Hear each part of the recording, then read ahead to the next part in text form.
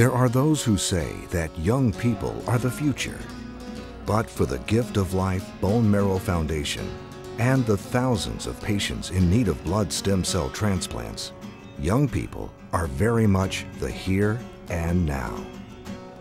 Since the first bone marrow drives were held at Yeshiva University, young adults have taken leadership roles in organizing and promoting outreach and recruitment campaigns, in joining the registry as potential donors, and taking action to save lives when called as a match.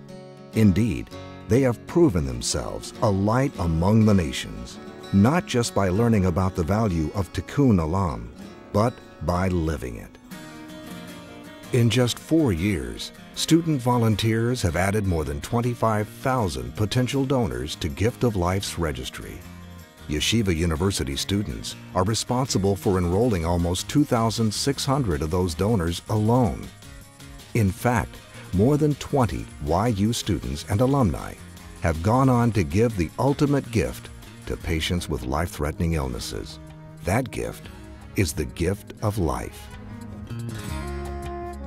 Richard Joel, president of Yeshiva University, has played a critical role encouraging student activism through Gift of Life donor recruitment drives on campuses throughout North America. An entire generation of young Jews around the nation and the world want to build lives of purpose and meaning, and this is a great and wonderful way to do that. Avi Amsalem joined Gift of Life's registry as a potential donor in 2005. Just two years later, he received a call that would forever change his life. When I first heard that I was a potential donor for the gift of life, I felt like I won some sort of a lottery. How many people do you know that aren't doctors and have actually saved someone's life? It's crazy to think how a five minute cheek swab can have such an impact on so many people's lives.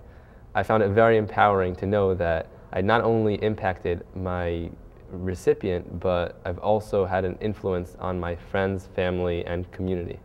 I was tested with the Gift of Life Registry in Yeshiva University in 2001. My experience with the Gift of Life was very special to me because when I found out that I was a match for a patient, it was actually about a week after I'd gotten engaged. It was really the first opportunity that my now wife and I had to do something together. Having been privileged to be a donor for Gift of Life, has been a transforming experience. It didn't matter to me that the man I was helping was anonymous. I just wanted to help him. It didn't matter what. It didn't matter how painful, it didn't matter what I had to go through. I was having the most amazing opportunity to save someone's life, to make a difference. I really believe in a world where people do good things for others, even strangers, and this was one other chance to do something good. Working with the staff of Gift of Life was a wonderful experience. Everyone there is friendly, kind. It's like having 10 Jewish grandmothers without the guilt. I first heard about Gift of Life when I was walking down the street and a buddy of mine told me that they were giving out free cookies for every person who registered. Me, being hungry, as I always am, decided I kind of wanted a cookie. So I went inside, got a cheek swab, and boy was I satisfied. When I got the phone call from Gift of Life saying that I might be a potential donor, I was thrilled. Having the opportunity to save somebody's life, that's pretty cool.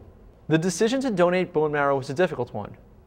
But being a student at Yeshiva University, I had the support of my peers that got me through the process. I was not yet a student on the Yeshiva University campus when I chose to join the Gift of Life Bone Marrow Registry, but I definitely think that being a student on campus influenced my decision when it came to running bone marrow drives. My decision to join the Gift of Life Registry was strongly influenced by the atmosphere around me in Yeshiva University. I remember the day of the drive, it seemed like there were a lot of people who were going in to be tested. The lifeblood of Gift of Life is to be able to have a growing registry.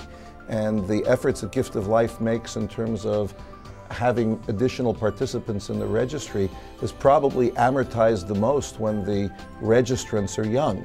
Now, this is a way to get people who are 17, 18, 19, 20 years old onto the registry and their involvement lingers for 40 years or more. So it's a great, great gift to say that we can use all of God's gifts of science um, and all of the human's gifts to explore and discover, to be able to advance life, to be able to understand life so that we can cure afflictions and allow people to keep giving, to have lives of dignity, to have lives of health, and to be able to not only dream dreams, but live long and healthy so that those dreams can turn into realities. What can be more important than that? In recognition of its tremendous success, inspiring the next generation of young Jewish leaders to join in a life-saving mission and strengthen their bond with the Jewish people. Gift of Life is pleased to present Yeshiva University with the 2008 Partners for Life Award.